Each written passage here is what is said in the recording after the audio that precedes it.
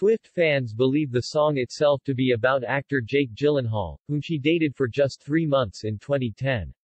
Taylor Swift delivered on a promise to her fans to re-record her beloved 2012 Red album and doubled up on multiplying the buzz around the release of Taylor's version when she dropped the music video for I Bet You Think About Me on Monday.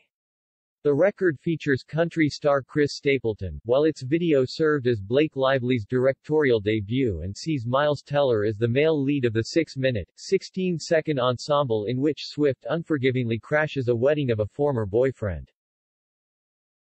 Teller's real-life wife, Keleigh, is also featured in the video. Given the thoroughness of the video that sees Swift, 31, donning red dresses, red suits, red top hats and even a wedding gown, many fans have taken to the internet to share their theories about the subliminal meanings behind Swift's antics, which were co-written by Lively. Swift's brother, Austin, is also listed as a producer on the visual.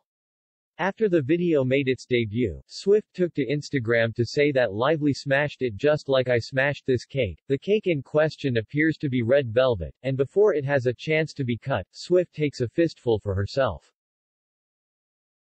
Off the bat, fans believe the song itself to be about actor Jake Gyllenhaal, 40, whom Swift dated for just three months in 2010. The vibrant red dress Swift is seen wearing in the video is a supposed nod to the Red Countdown video she posted to Instagram back in October in the weeks leading up to her album re-release. Meanwhile, a red box with a bow on it is also said to be a reference to the same countdown video, but the box also appeared to be from a scene with actress Sadie Sink in Swift's All Too Well, the short film video, according to Elle magazine.